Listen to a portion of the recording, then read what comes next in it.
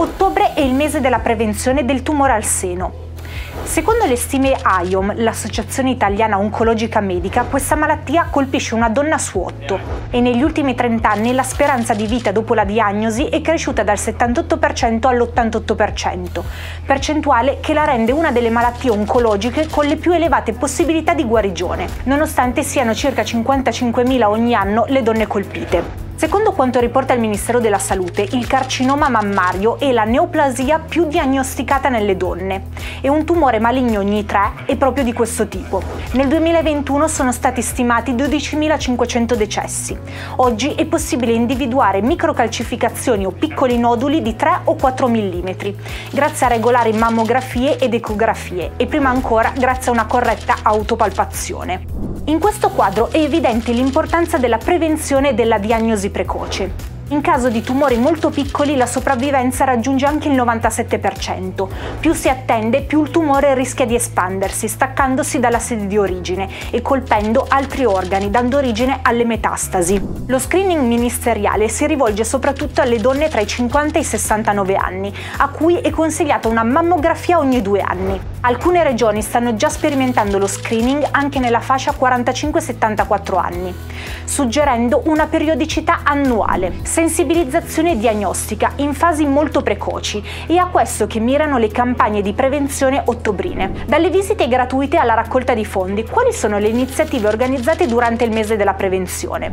Fondazione Incontra Donna, in collaborazione con il gruppo Ferrovie dello Stato italiane, con il patrocinio del Ministero della Salute in partnership con IOM e Farmaindustria hanno lanciato la campagna Freccia Rosa 2022, che prevede durante tutto il mese di ottobre, dal lunedì al venerdì, di sottoporsi a visite e consulenze gratuite con medici specialisti, proprio a bordo di frecce intercity regionali e nei Freccia Lounge di Roma Termini e Milano Centrale. Inoltre, i volontari della Fondazione Incontra Donna distribuiranno vademecum della salute e saranno a disposizione per consigli.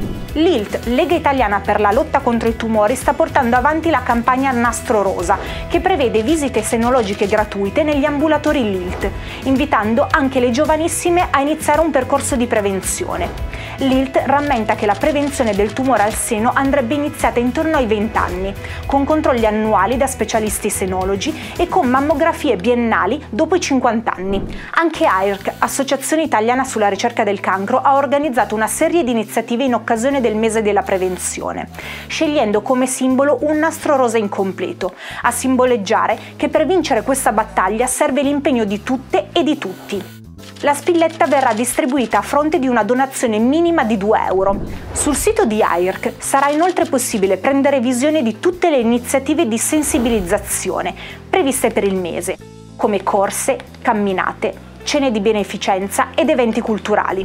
Anche Fondazione Veronesi ha lanciato la sua campagna Pink is Good, con lo scopo di raccogliere e donare fondi per la ricerca sul tumore al seno, attraverso donazioni libere oppure l'acquisto di prodotti come candele profumate o le noci per la ricerca.